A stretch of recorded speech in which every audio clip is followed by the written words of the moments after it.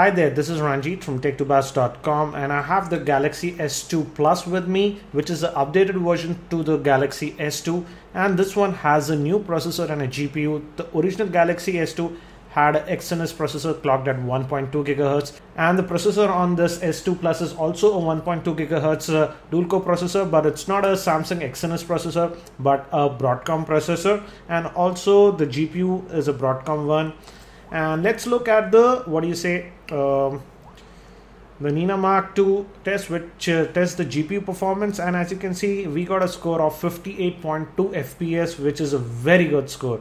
The original S2 if I remember gets a score of around 51. So again the S2 Plus gets a better score in Nenamark II which is important for gaming.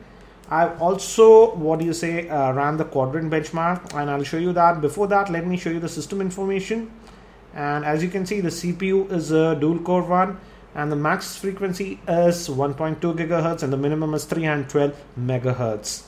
Also the ram is 1 gig. And again if you see uh, the gpu it's a broadcom gpu and again uh, samsung did not skimp on sensors and have pro provided almost all the sensors that are needed. I have saved the quadrant benchmark so let me show you the same now. And we got a quadrant score of 3875 which is again an excellent score for a dual core processor. And uh, it's again uh, higher a little bit higher than what the original S2 got. If I remember the original S2 gets a score of around 3150 in quadrant so let me give you a breakup. The total is 3875. The CPU got a score of 5270. Memory is 3585. IO is 7711.